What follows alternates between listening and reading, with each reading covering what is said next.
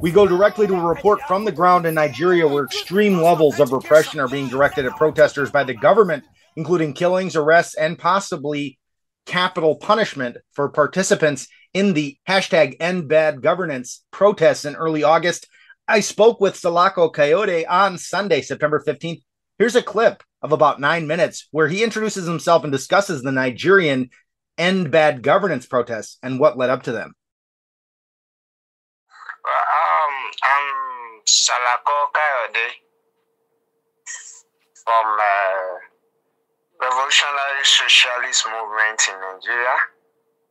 Uh, I'm an activist right from the day of uh, uh, our institution, and uh, I'm a community mobilizer and a socialist. Um, and I'm also a unionist.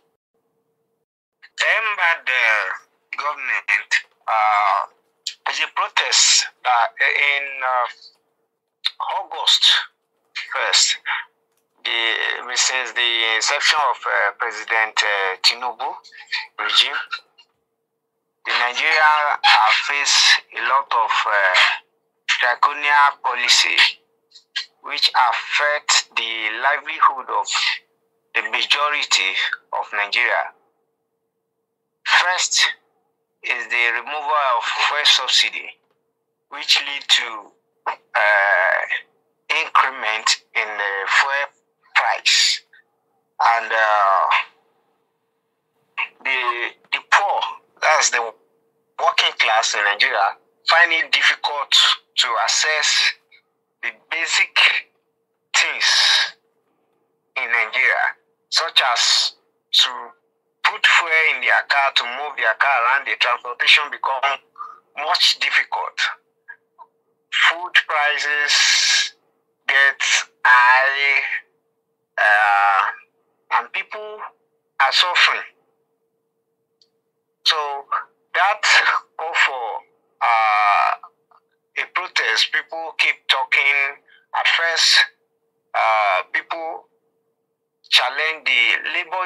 unions to to lead the struggle.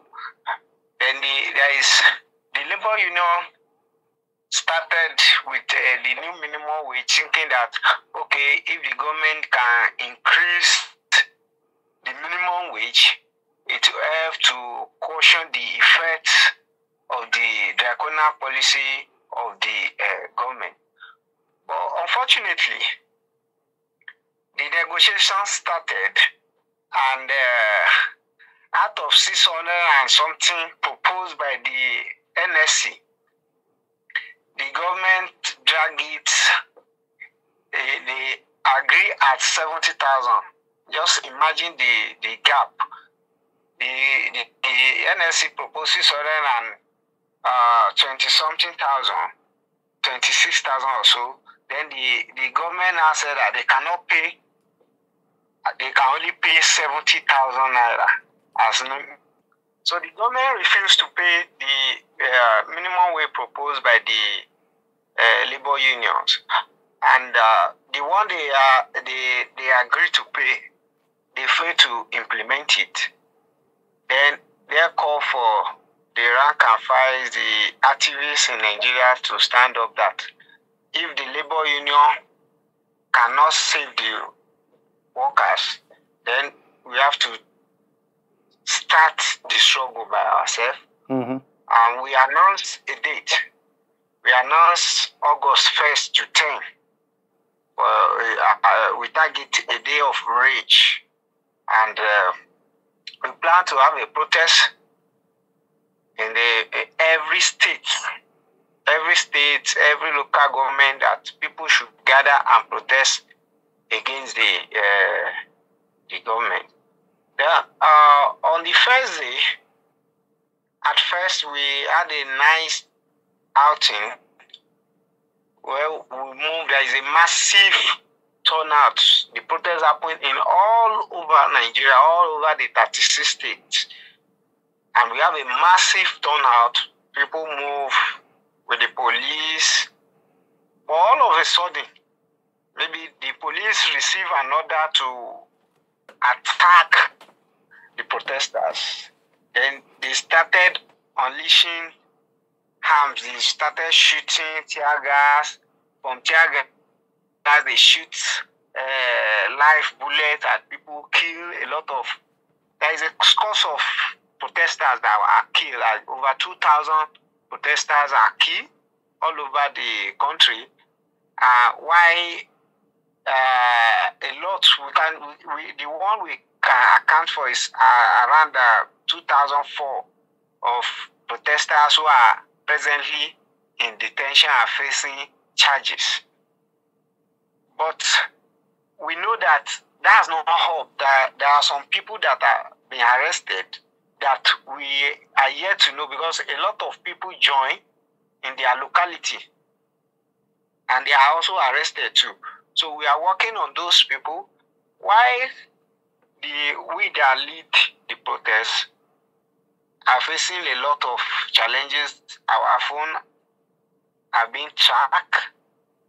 Uh, uh, we we have to be hiding so that uh, we will not get arrested because right now as we speak, we have four of our comrades in detention facing uh, charges like uh, treasonable felony uh, or uh, attempt to destabilize the country to overturn the government. That kind of funny, funny charges against ordinary protesters. But we are not going to to bow down to that because of recent the government have further proved that they hate the people of Nigeria by increasing the price of PMS. That's petrol. Right now, a liter of petrol costs nine from the NNPC costs nine hundred and forty-six naira, which is, uh, is is too high for the working class to afford. A lot of a lot of working class now who owns a car have to park their cars at home and join the public uh, transport. And the public transport is also on the high side. So, like somebody like me now, where I used to spend 1,500 naira to go to work before, I'm spending more than 3,000 naira now. And uh, the funny part of it is that even the minimum wage that have been signed and agreed have not been implemented. Workers have not collected the minimum wage, but it's still the whole minimum wage that we are being paid, and all these things happens. So the workers are seriously in mess, in serious hardship, because the the take home cannot even cater for the basic needs, food, shelter, because another aspect in today's early hours of today, there is a news where a minister of FCT said that he cannot say that there should not be increment in rent, house rent, because they are not operating socialist type of government that they are capitalists. And uh, in capitalism, a lot of things determine the price that so the price of goods and uh, uh, the reality on ground determine how the landlord will increase their rent. That a, minister approved that the landlord keep increasing rent. These are the things that the, the ordinary workers in nigeria face day by day. As was mentioned in that clip, the affordability crisis in fuel and food and rent led up to these protests it is very acute in Nigeria, but is something workers are contending with internationally. Here, Salako Kayode speaks about the call for international solidarity to secure the release of these workers and activists imprisoned. This is about a two minute clip. We have always called for international solidarity. And uh, what the method we want and we want people to do for us is all the Nigeria embassy, should picket, help us to picket the Nigerian embassy and tell them to drop all those charges against ordinary protesters. Because uh, in the history, we, we only we are only with placards. We are not with guns. We have uh, Boko Haram bandits who are killing scores of civilians every day. And the government and the police have not been able to apprehend or arrest any one of them and charge them for treason or whatever. Why is it that it's ordinary protesters who are saying that the life should be easy for everybody in Nigeria, that the government should stop their corrupt practices, that will now be faced with charges as bogus, as treason, felony, all sort of uh, concocted, concocted uh, charges against them. So we will call for solidarity. We need at this time we need the the the, the workers of the world to come to the to our heirs to to to pressure the Nigerian government to drop those charges against the ordinary protesters. Thank you.